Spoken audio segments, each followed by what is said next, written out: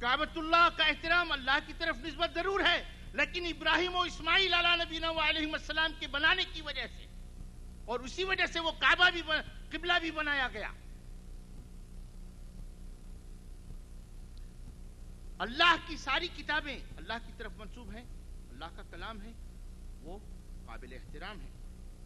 हती के अम्बिया और मुरसलीन के आसार मुबारक कुरान मजीद में इसका ज़िक्र आया है।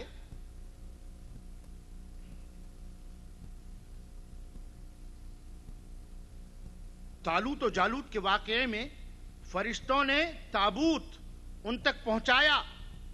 और क्या था ताबूत में? वकीयत मिम्मा तरका आलू मूसा व हारून। मूसा और हारून और उनकी आले तय्यबा, के आसार उसमें मौजूद थे जिसको फरिश्तों ने अल्लाह के हुक्म से महफूज रखा और उनकी कौम तक पहुँचाया। इसमें दलील है इस बात की कि अल्लाह वालों की तरफ़ मंसूब जो चीज़ें होंगी, वो भी काबिल एहतराम होंगी, जिस तरह अल्लाह वाले काबिल एहतराम है, इसलिए कि वो अल्लाह की तरफ़ मंसूब है।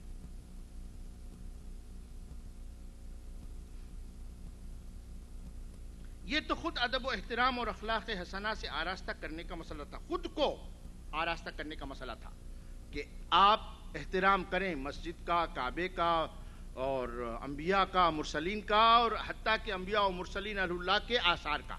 इसलिए कि वो अल्लाह की तरफ़ जो मंसूब हो जाता है तो उससे मुतल हर चीज़ काबिल एहतराम हो जाती है।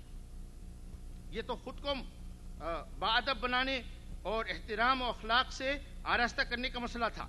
जहाँ तक मेरे दोस्तों बुज़ुर्गों, इस बात को गौर से सुने, जहाँ तक अहलो अयाल का ताल्लुक है तो सुन्नत मुतहरा खामोश नहीं रही, बल्कि हमको हुक्म दिया सरकार दो आलम वसल्लम ने।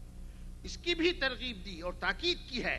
चुनाच हदीस में आया है, हज़रत जाबिर इब्न समरा तआला अन्हु फरमाते हैं, रसूल अक़दस सल्लल्लाहु तआला अलैहि वसल्लम ने फरमाया, लअन युअद्दिब अर्रजुल वलदहु खैरुन लहु मिन अन यतसद्दक कुल्ल यौमिन बिनिस्फ साइन। बिरिवायत अहमद व लफ्ज तिरमिजी यानी किसी शख्स का अपने बच्चों को अदब सिखाना, रोज़ाना निसफ सा आधा सा अनाज खैरात करने से बेहतर है। रोज़ाना। ये हज़रत इमाम अहमद हम्बल की रिवायत है, मुस्नद में। और इमाम तिरमिजी, वो कहते हैं कि रोज़ाना एक सा खैरात करने से बेहतर है। और सा क्या होता है? एक नाप है, जिससे अनाज नाप कर उसकी मकदार मुतन की जाती है। उसको सा कहते तो बच्चों को अदब सिखाना, खैरात करने अल्लाह की राह में, गरीबों को अनाज देने से रोज़ाना, अनाज देने से बेहतर है। क्योंकि जब बड़ा बड़े होंगे, बेहतर बनेंगे, मखलूक को फ़ायदा होगा। वो खुद दुरुस्त होंगे दूसरों को दुरुस्त होने का ज़रिया बन, दूसरों के दुरुस्त होने का ज़रिया बनेंगे। इसलिए माँ बाप की ज़िम्मेदारी है कि अपने बच्चों को बाअदब, मुअद्दब बनाएँ, उनको सिखाएँ अदब क्या चीज़ है।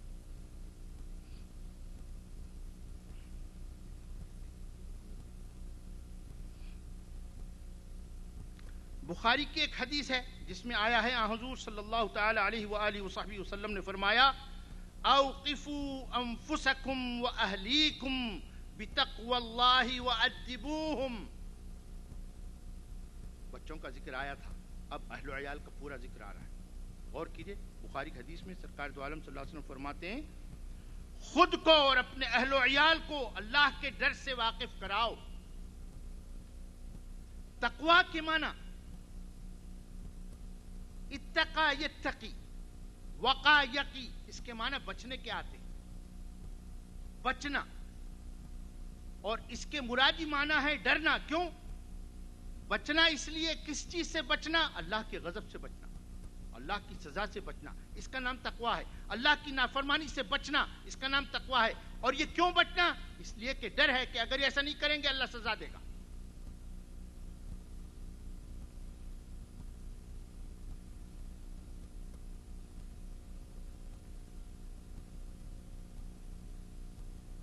अबुल अताहिया, एक कदीम शायर था अरबी का।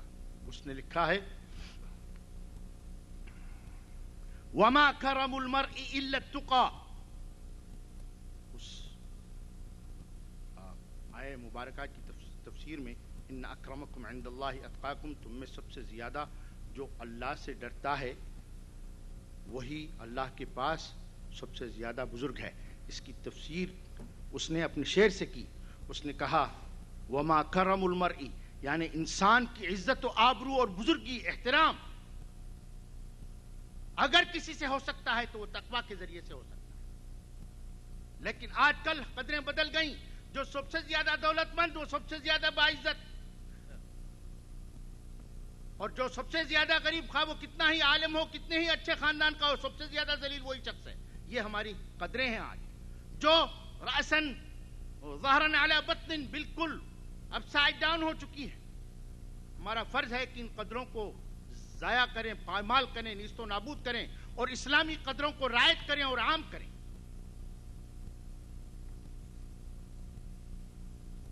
मेरे दोस्तों, बुज़ुर्गों, दीनी बहनों, बहरहाल अदब के नमूने और शहपारे सुन्नत मुतहरा के हर गोशे में हमें आसानी से मिलते हैं, जिनसे अदब की अहमियत का सबूत मिलता है। किराम ने इस बारे में किताबें लिख डाली।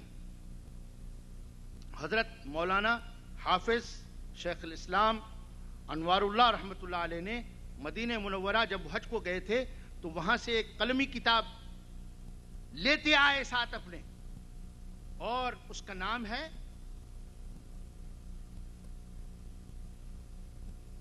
खनजुल उम्माल फ़ी अकवाली वल अफआल।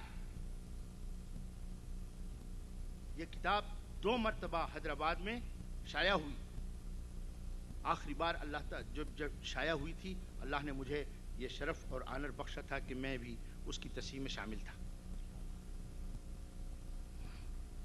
बहरहाल, सरकार दो आलम वसल्लम की सुन्नत आपके आदाब हर चीज़ के आपको हदीस की किताबों में, सीरत की किताबों में किराम ने हमारे लिए लिख छोड़े हैं। हमारे पास वक्त नहीं है, दुनिया में इतने मशगूल हो गए हैं। कि अपने रसूल को पहचानना, इसके लिए वक्त चाहिए। हम सही तौर पर, हमको रसूलुल्लाह की मारफत हासिल नहीं है। जिसकी वजह से हमारा ईमान कमज़ोर है, जिसकी वजह से हमारे दिलों में रसूलुल्लाह सल्लल्लाहु अलैहि वसल्लम की मोहब्बत नामुकम्मल है। और इस नामुकम्मल मोहब्बत की वजह से हमारा ईमान भी नामुकम्मल है। कि ईमान की तकमील बगैर रसूलुल्लाह से मोहब्बत के नामुमकिन है। हो नहीं सकती। गर्ज। इसकी मिसाल ऐसे जैसे इबादत, आदाब, इबादत के आदाब, नमाज़ के वो अमाल जिनका ताल्लुक अदब से है और उस अदब को तर्क करना बेअदबी और मकरू समझा गया है।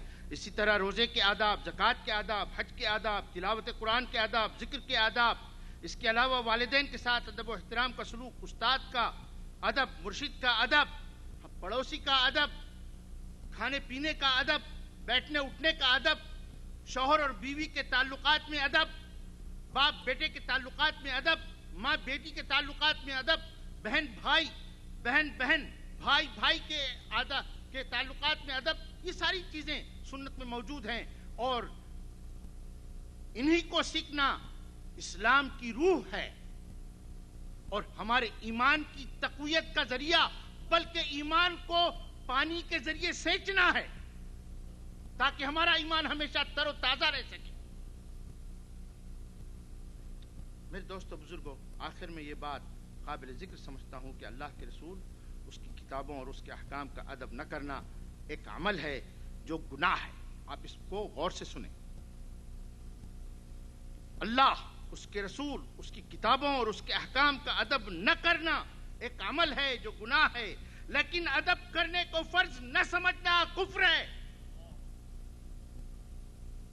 गौर कीजिए, हमारे इस जिनकी किताबों से हमने इस्लाम को सीखा, मालूम किया, वो क्या लिखते हैं? हज़रत इमाम फखरुद्दीन राज़ी रहमत ने सूर्य हुजरात की आयत नंबर दो की तफसीर करते हुए लिखा है कि इस हुक्म को फ़र्ज़ न समझने से आजूर सल्लल्लाहु अलैहि वसल्लम की तहकीर लाजिम होती है। वो आयत क्या है? ला तरफाउ असवातकुम फौक सौत नबी वला तजहरु लहु बिल कौली कजहरी बादिकुम लिबादिन अन तहबत